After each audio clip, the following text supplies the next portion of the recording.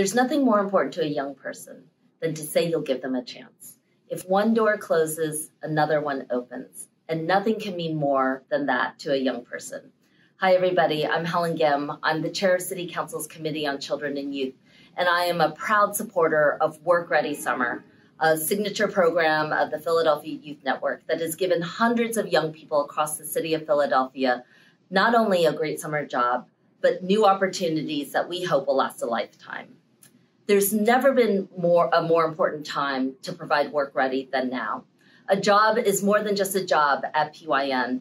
It means it's an opportunity for a young person to meet a new mentor. It means that there are new experiences to put down, uh, new communities to come out of as, as our young people traverse um, the city. And most importantly, at a time when gun violence has ravaged so many communities across the city of Philadelphia and has deeply, deeply impacted young people here in our own city, um, at a time when COVID has bottomed out our economy and left so many families desperate.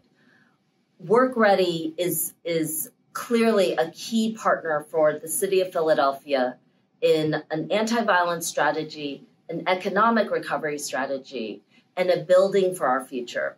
That's why City Council, led by our Children and Youth Committee, was proud to put forward a million dollar investment in Work Ready Summer um, this year. And we will continue to fight for greater and more funding for this program in the years to come.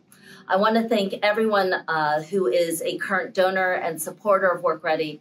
I hope that you will continue to expand and continue your support. I want you to know that the City of Philadelphia has the backs of you, your children, um, this program, and the young people who take advantage of it. And I hope all of us can continue to work together to give all of our young people a fighting chance.